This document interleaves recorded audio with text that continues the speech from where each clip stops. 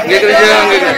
ప్రభుత్వ రంగ పరిశ్రమల అమ్మకాన్ని ఆపాలి. ఆపాలి ఆపాలి. ప్రభుత్వ రంగ పరిశ్రమల అమ్మకాన్ని ఆపాలి. ఆపాలి ఆపాలి. ప్రభుత్వ రంగ పరిశ్రమల అమ్మకాన్ని ఆపాలి. ఆపాలి ఆపాలి. ప్రభుత్వ రంగ పరిశ్రమల అమ్మకాన్ని ఆపాలి. ఆపాలి ఆపాలి. ప్రభుత్వ రంగ పరిశ్రమల అమ్మకాన్ని ఆపాలి. ఆపాలి ఆపాలి. మిత్రులారా ఈరోజు దేశవ్యాప్తంగా నిరసన పాటిస్తా ఉన్నాం. అన్ని ప్రభుత్వ రంగ పరిశ్రమల దగ్గర దేశవ్యాప్తంగా స్వాతంత్రం వచ్చిన దగ్గర నుండి ఇప్పటి వరకు నిర్మించిన ప్రభుత్వ రంగాన్ని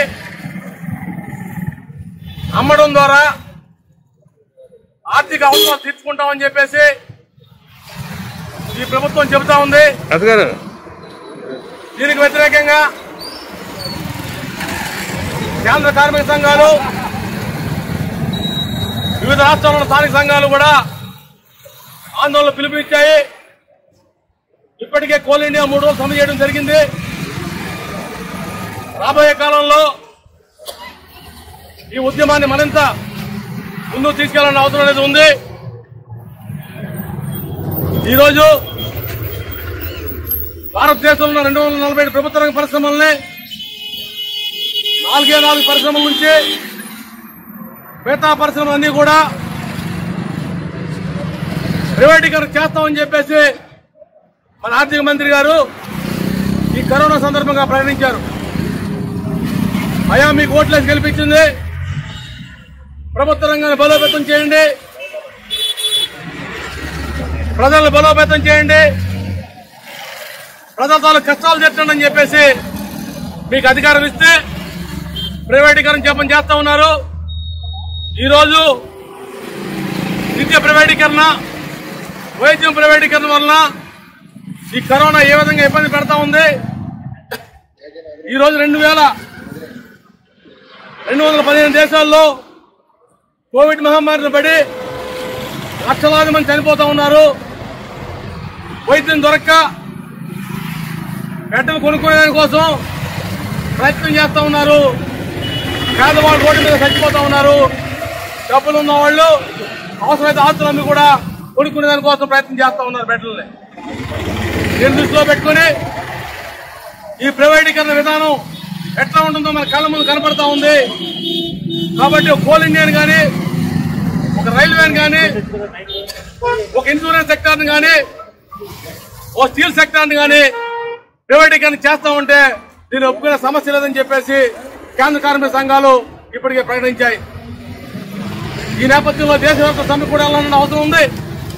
కానీ ఎందువలన వెయిట్ చేస్తూ ఉన్నామంటే ఒక మనిషి మనిషి కలుసుకోవడానికి ఇబ్బందికరమైన పరిస్థితులు ఇప్పుడు ఏర్పడి ఈ ఏర్పాట్లలో ప్రజలను కాపాడడం కోసం ఒక టీకా అందించడం కోసం కోవిడ్ వైద్యం కోసం హాస్పిటల్ బలోపేతం చేయడం కోసం కార్పొరేట్ హాస్పిటల్కి కళ్ళు వేయడం కోసం ప్రయత్నించాలంటే మేనేజ్మెంట్లు ప్రభుత్వాలు అవి మానేసి ఈరోజు మనల్ని నడి రోడ్డు మీద పెట్టి అమ్మేయడం కోసం ప్రయత్నం చేస్తూ ఉంది. దానికి ఉదాహరణ గత ఆరు మాసాల నుంచి కూడా నీలాచల్ స్టీల్ ప్లాంట్లో జీతాలు లేవు. అధికారులు రోడ్లు ఎక్కారు ఈ రోజు కూలి పనులకు వెళ్ళే పరిస్థితి ఓ ప్రభుత్వ రంగ పరిశ్రమలో పనిచేసినటువంటి ఉద్యోగులకి వచ్చిందంటే దీని అర్థమేంటి? అట్లాగే స్టీల్ ఇండస్ట్రీని బలోపేతం చేస్తామని చెప్పి చెప్తా ఉన్నారు. రెండు వేల ఇరవై ముప్పైకి మూడు వందల మిలియన్ టన్నులు మా స్టీల్ పాలసీ అని చెప్పేసి స్టీల్ మంత్రిగా ప్రకటించున్నారు ఆల్రెడీ. ఏ విధంగా స్టీల్ పాలసీ రెండు వేల ముప్పైకి మూడు వందల మిలియన్ టన్నులు వెళ్తారని చెప్పేసి మనం అడుగుతా ఉన్నాం మిత్రులారా. NMDC Visakhapatnam steel plant SAIL కేఐఆర్సి Nagarnath steel plant ఇవన్నీ కూడా స్టీల్ మంత్రి గారికి రిపోర్ట్ చేస్తా ఉన్నాయి. మరి దీన్ని ఒకదానికి ఒకటి పోటీ పెట్టి లాసెస్ అని చెప్పి చెప్తా ఉన్నారు. మన సముద్రయానం ద్వారా విశాఖపట్నం ద్వారా జపాన్కి ఇతర దేశాలు తరలిపోయి ఐరన్ ఓరు చీప్గా వెళ్ళిపోతూ ఉంటుంది మనకు కావాలన్న ఐరన్ మటుకు ఇచ్చేదానికోసం ఈ ప్రభుత్వం సిద్ధంగా లేదు నాలుగున్నర వేల పెట్టి ఐరన్ కొనుక్కునే పరిస్థితి ఎందుకు దాపరిచిందంటే దీనికి కారణం కేవలం అని చెప్పేసి మనం చెప్తాం మిత్రులారా. దీన్ని దృష్టిలో పెట్టుకుని మనం ఖచ్చితంగా సెయిల్ కానీ ఆరాయణలు అట్లాగే NMDC Nagarnath steel plant KOCL ఏవైతే స్టీల్ మంత్రి ఆధ్వర్యంలో నడుస్తూ ఉన్నాయో ఇవన్నిటిని కొడుకుని ఎందుకు తేరు మీరు? దానికోసం ఈ రాష్ట్రంలో ఉన్న ఎంపీలు ఎందుకు ప్రయత్నం చేయరు? ఈ రాష్ట్రంలో ఉన్న ఏకైక పెద్ద పరిశ్రమ విశాఖపట్నం స్టీల్ ప్లాంట్. ప్రతి నెల ప్రతి సంవత్సరం వందల కోట్లు వేల కోట్లు పనులు చెల్లిస్తే పట్టుకెళ్ళి ఈ రాష్ట్ర ప్రభుత్వం. ఈ రాష్ట్ర ప్రభుత్వంలో ఎంపీలు మాజీ మాజీ విశాఖపట్నం స్టీల్ ప్లాంట్ గొర్రెలు కావాలి ఎందుకు మాట్లాడరు? ఎందుకు దీన్ని ప్రైవేటీకరణ చేస్తామంటే మీరు ఒప్పుకుంటున్నారు? దీనికి వ్యతిరేకంగా ఎందుకు పోరాటం చేయట్లేదని చెప్పేసి అడుగుతా ఉన్నాం మిత్రులారా. విశాఖ ఉక్కు ఆందోళనకు పోరాటం వచ్చిన కర్మ గారు దీని ఇవాళ ఇబ్బంది పెట్టేదాని కోసం మీరు ప్రయత్నం చేస్తే ఈ రాష్ట్ర ప్రజలు కానీ జిల్లా ప్రజలు కానీ చూస్తూ ఊరుకోరని చెప్పేసి ఇటువంటి పోరాటాలు హెచ్చరిక మాత్రమే. రాబోయే కాలంలో మరిన్ని పోరాటాలకి కార్మిక వర్గం ప్రజలు ముందుకు వస్తారని చెప్పి తెలియజేస్తూ ముందుగా ఐఎన్టీసీ అధ్యక్షులు గంధం వెంటారు మాట్లాడాలని కోరుతాం సభాధ్యక్షులు గుర్తం పేరును సిఐడి అధ్యక్షులైనటువంటి అయోధ్యరామ్ గారు మరి యొక్క నిరసన కార్యక్రమంలో పాల్గొన్నటువంటి అఖిలపక్ష కార్మిక సంఘ నాయకులకు సోదరులకు అందరికీ ఉదయపూర్వక నమస్కారాలు మన మిత్రులారా, ఇప్పటికే మనం అనేక రూపాల ఆందోళన కార్యక్రమాలు మనం నిర్వహించాం. ఇవాళ దేశవ్యాప్తంగా భారతదేశంలో ఉన్నటువంటి జాతీయ కార్మిక సంఘాలు ఇతర కార్మిక సంఘాలు ఇచ్చినటువంటి పిలుపుకి అనుగుణంగా ఈరోజు విశాఖపట్నం స్టీల్ ప్లాంట్లో ఉన్నటువంటి అన్ని కార్మిక సంఘాలు ఇవాళ ప్రభుత్వానికి వ్యతిరేకంగా ఒక నిరసన కార్యక్రమం చేయాలని చెప్పి కూడా ఇవాళ పిలుపుకోవడం జరిగింది ఇవాళ దేశంలో ఉన్నటువంటి ప్రభుత్వ రంగ సంస్థలు కాపాడుకోవడం కోసం ఏదైతే కార్మిక చట్టాలు ఉన్నాయో చట్టాలను రక్షించుకోవడం కోసం ఇవాళ కార్మిక వర్గం అంతా కూడా ఆందోళన చేస్తున్నటువంటి పరిస్థితి. ఇవాళ దేశంలో పరిపాలన చేయడానికి తప్పించినటువంటి బీజేపీ గవర్నమెంట్ ముఖ్యంగా మోడీ గారి నాయకత్వంలో ఉన్నటువంటి ప్రభుత్వం పూర్తిగా పెట్టుబడి వర్గానికి పొందుదాస్తూ దేశంలో ఉన్నటువంటి ప్రభుత్వ రంగ సంస్థల్ని పూర్తిగా ప్రైవేటీకరణ చేయాలని అమ్మి వేయాలని చెప్పేసి కూడా వారు ప్రయత్నం చేస్తున్నారు. ఒక ఇవాళ రైల్వే అంటే దేశంలో ఒక ప్రతిష్టకరమైనటువంటి ఇవాళ రైల్వే. ఎంత కానివ్వండి అన్ని రంగాల్లో కూడా ఇవాళ ప్రైవేటీకరణ చేస్తూ వారికి కావలసినటువంటి పెట్టుబడిదారులకి అప్పచెప్పాలన్నటువంటి మోడీ ప్రభుత్వం ప్రయత్నం చేస్తుంది. దాని వల్ల దేశవ్యాప్తంగా అడ్డుకోవాల్సిన అవసరం కూడా ఉంది. విశాఖపట్నం స్టీల్ ప్లాంట్ ఎంతో మంది పోరాటంతో వచ్చినటువంటి కర్మాగారాన్ని కూడా పూర్తిగా నష్టా రూపంలో తీసుకుపోయి ఎటువంటి ప్రభుత్వం సపోర్ట్ ఇవ్వకుండా దీన్ని నిర్వీర్యం చేయడం కోసం కూడా ఈ ప్రభుత్వం కోరుకుంది దీనికి ఉన్నటువంటి స్థానికంగా ఉన్న ఎంపీలు కానివ్వండి స్థానికంగా ప్రజాప్రతినిధులు కూడా ఈ విశాఖ ఉక్కు కోసం వారు కూడా పోరాటం చేయాల్సిన అవసరం ఉంది.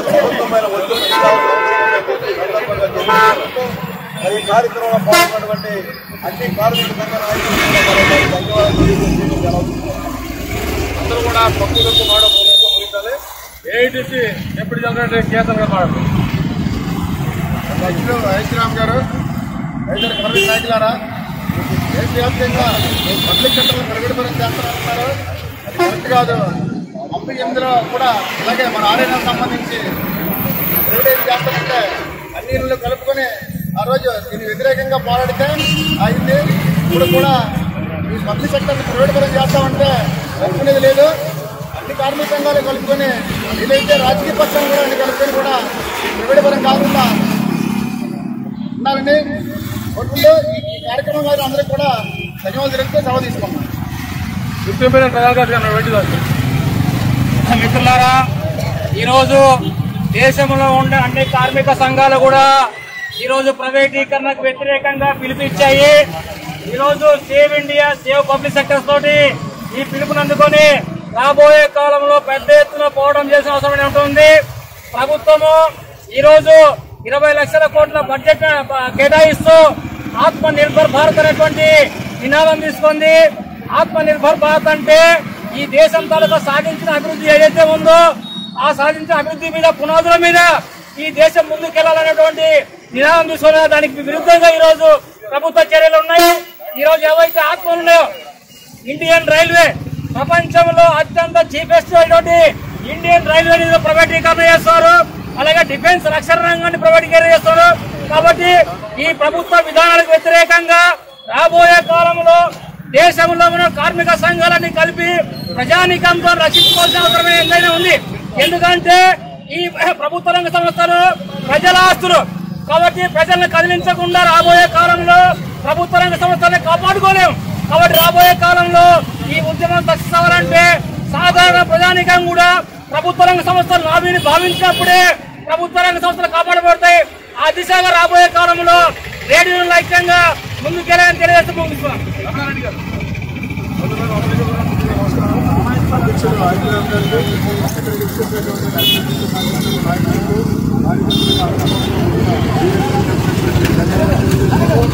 మరి గత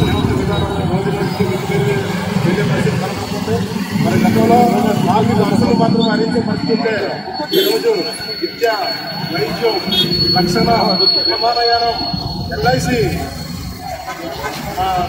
ఏది భూమి మీద కానీ ఆకాశం మీద ఉన్నటువంటి అన్ని విషయాల్లో కూడా ప్రైవేట్ చేసే పరిస్థితి ఉంది మరి దేశ రక్షణ సంబంధించిన రక్షణ రంగాన్ని కూడా ఇవాళ ప్రైవేటైజేషన్ పరిస్థితులు ఉందంటే మరి ప్రభుత్వ విధానాలు ఏ రకంగా ఉన్నాయని మనం ఆలోచన చేయాలి? ఆధునిక దేవాలయాలు అందులో పనిచేసే కార్మికులే ఈ దేశ ప్రగతి ప్రభుత్వంలో ఆలోచనలకైతే మరి ఈ ప్రభుత్వాలేమో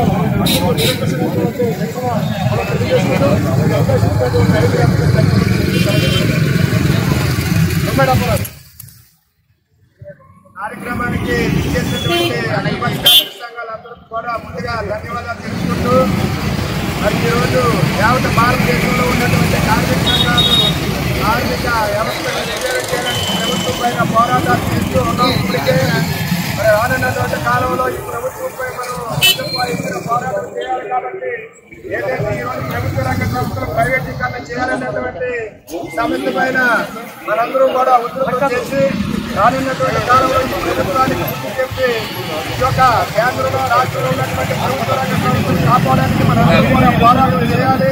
ఇప్పటికే జాతీయ స్థాయిలో కార్మిక సంఘాలన్నీ కూడా పెద్ద ఎత్తున ఉద్యోగం చేస్తూ దానిలో భాగంగా ఈ రోజు విశాఖ ఉక్కు కర్మాగారం వద్ద మరి ఈ యొక్క నిరసన కార్యక్రమం ద్వారా ప్రభుత్వానికి యాజమాన్యానికి అందజేస్తూ మరి ఈ అవకాశం ఇచ్చినటువంటి సభాధ్యక్ష అయోధ్య గారికి ధన్యవాదాలు తెలుపుకుంటూ సెలవు తీసుకున్నాను జై హింద్ సభాధ్యక్షులు అయోధ్య గారు అలాగే వెంకటరావు గారు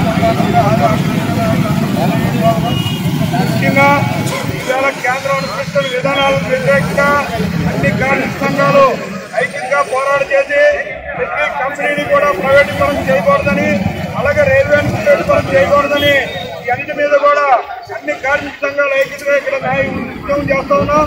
ఉద్యమంలో ఏఐసీటీ కూడా పాల్గొని ఈ చెప్పి మనం చేస్తూ సెలవు